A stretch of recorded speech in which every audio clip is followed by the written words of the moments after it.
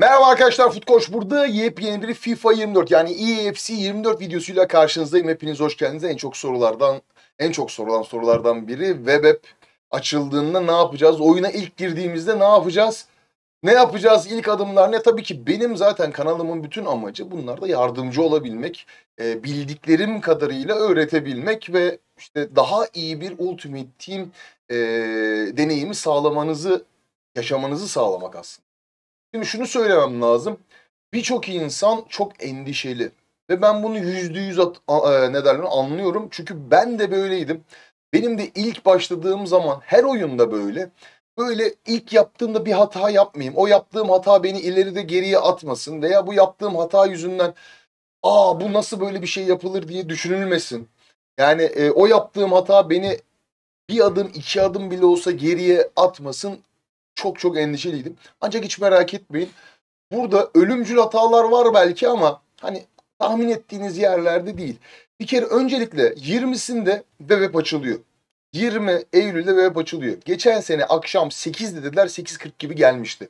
Yine böyle bir şey olmasını bekliyoruz. Duyuracaklar.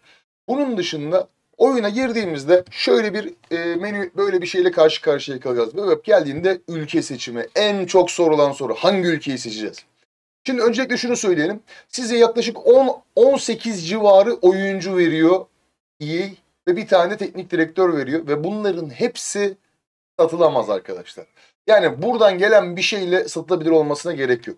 Ben hatırlıyorum ilk girdiğim zaman Fransa'yı seçip Mbappe veya e, e, Brezilya'yı seçip Neymar alabilir miyim? Bunları işte Arjantin'i seçip e, Messi alabilir miyim diye düşünmüştüm. Eminim bunu düşünenler vardır aranızda. Böyle bir şey gelmiyor. Sadece zaten ya 3 ya da 4 tane altın oyuncu geliyor. Hiçbiri nadir olmuyor. Normal altın oyuncular geliyor. İyi bir oyuncu gelme çekme şansınız yok. Kullanılabilir bir oyuncu çekme şansınız neredeyse yok. Belki bir tane denk gelebilir. Genellikle gümüş ve bronz oyuncular gelecek. Ve büyük ihtimalle bronz bir teknik direktör gelecek. Peki o zaman buradaki seçim neye işe yarıyor? Buradaki seçim şu işe yarayacak. En başta yapılan SBC'lerde bize fayda sağlayacak. Şu anda benim gördüğüm piyasadaki en fazla kullanılan şey Brezilya, Arjantin. Herkesin söylediği. Neden bunu söylüyorlar? Buradan altın bir oyuncu çekersek. Biraz sonra değineceğim. Birazdan açıklamasını da yapıyorum. Advanced SBC'ler var. Altın oyuncu istiyor. Mesela her ülkeden, her ligden bir tane oyuncu istiyor. Ama hepsi aynı ülkeden olacak. Mesela Brezilyalı oyuncular lazım. Fakat altın oyuncu istiyor ve buranın verdiği altın oyuncu sayısı 3, bazen 4. Ve buradaki gelen altın oyuncuların sizin o SBC'de işinize yarama şansı gerçekten çok düşük. Olabilir bir tane 3-4K'lık K dediğimizde 1000 demek zaten. 3-4 bin coin'lik değerinde bir oyuncu çekebilirsiniz. Kesinlikle katılıyorum. Ancak bence bence bu yanlış. Ben bunun hatalı olduğunu düşünüyorum. Ben buradan gitmenin doğru olmadığını düşünüyorum. İkinci düşünülen şey ee, buradan ne de, kime dediğimi hemen anlayacaksınızdır. İşte Fransa kiralık bir oyuncu seçimi verecek size oyun içinde. Kiralık oyuncuda da işte Pogba'yı seçerseniz hesabınıza Mbappe falan çekiliyor. Öyle bir şeye de ben denk gelmedim. Hepsini denedim. Benim düşündüğüm şey şu. Birazdan da göstereceğim zaten. İngiltere veya Almanya ile başlıyorum ben her zaman. İngiltere veya Almanya neden? Çünkü benim o altın gelen oyunculardan bir umudum olmadığı için, çok şanslı olduğumu düşünmediğim için bronz ve gümüş oyunculara ihtiyacım var. İngiltere ve Almanya neden? İngiltere'nin şöyle bir durum var. İngiltere Premier Lig Championship 3, 4, 5 var.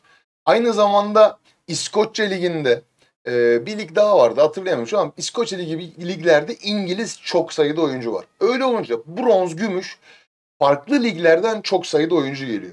Bu da ilk SBC'leri yapmakta yardımcı oluyor. Almanya'nın da aynı şekilde Bundesliga 2 ve 3 var. Aynı zamanda İsviçre'den ee, başka bir yerde vardı onu da unuttum. Bayağı unuttuk gerçi.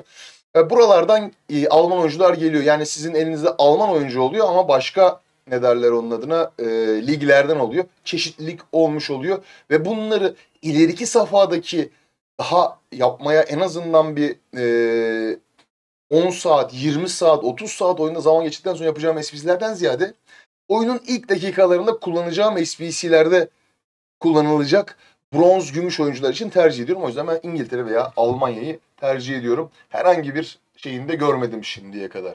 Ee, burada bunları ne için söylüyoruz? Şu şekilde burada Foundation SBC'leri var. Foundation'lar e, altyapı SBC'si olarak geçiyor. Bu altyapı SBC'lerini yapmak için Mesela buradan bakacak olursak Jumbo Premium bronz paketler falan veriyor. Bir kişinin söylediğine göre yarısı satılabilir, yarısı satılamaz olacak ama geçen sene hepsi satılamazdı. Bu sene de satılamaz olacağını varsayabiliriz. Gelen kadromuzu açtık. İçinden 18 tane oyuncu çıktı. Çoğunluğu bronz ve gümüş oyuncular geldi.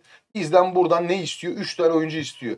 Aynı ligden 3 tane, aynı ülkeden 3 tane. Yani Premier Lig'den 3 İngiliz, Championship'ten 3 İngiliz veya gibi. Bu da bronz oyuncularla yapılıyor. İşte ben Brezilya'dan ziyade çünkü Brezilya'nın kendi ligi yok.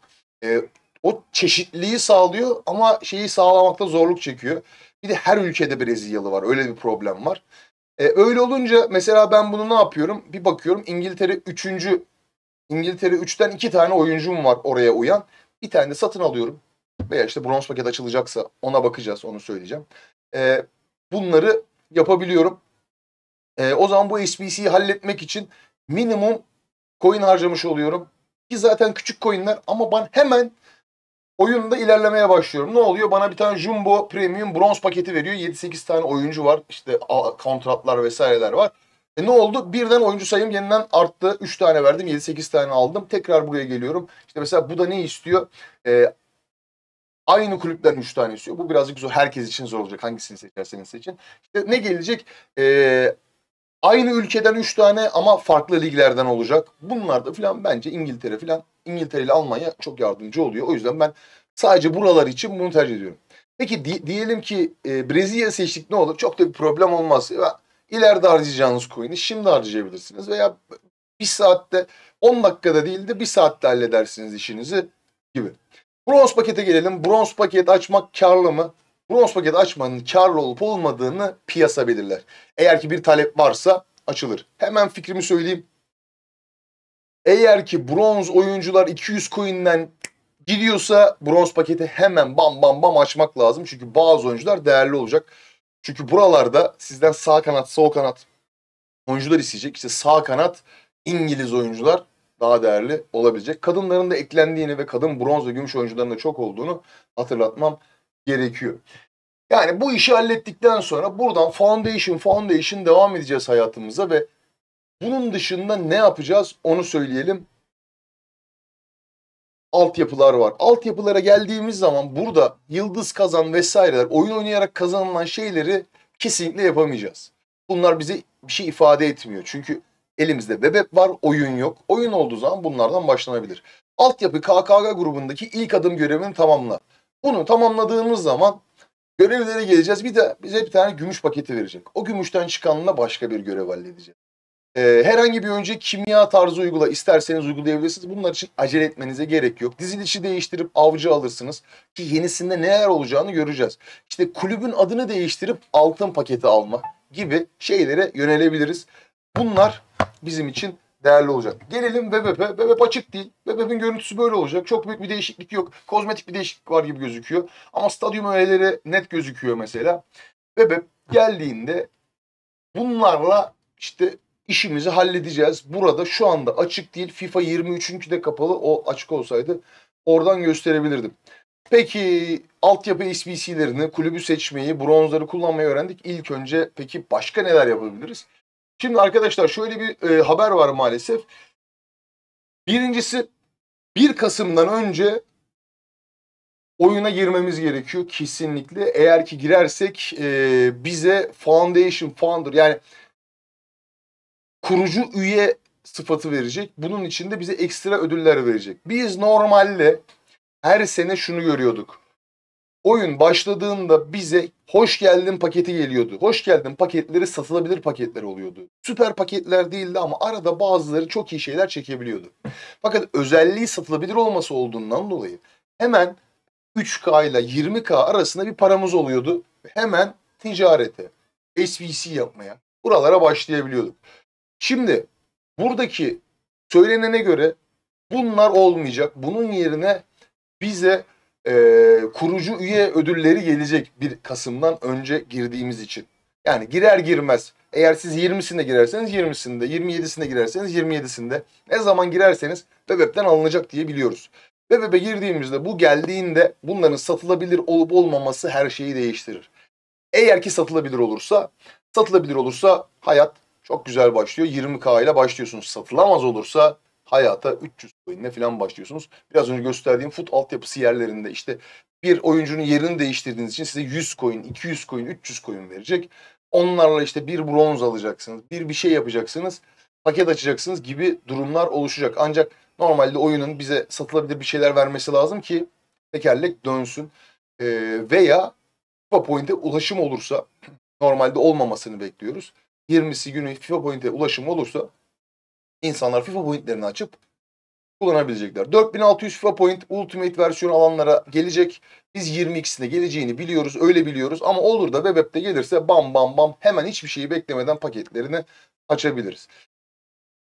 Aslında yapacağınız şeyler bu kadar. Peki ticaret kısmı nasıl? Ya o kısım biraz e, çetrefilli. Yani buradan bir şey söyleyip de sizin para kazanmanızı sağlamak kolay değil. Bunu canlı olarak yaşamak lazım. Çünkü nelerin değerli olacağını henüz bilmiyoruz. Ama ilerleyen zamanlar neler değerli olur vesaire onlara bakarız. Zaten yayınlarda falan çok konuşuyoruz.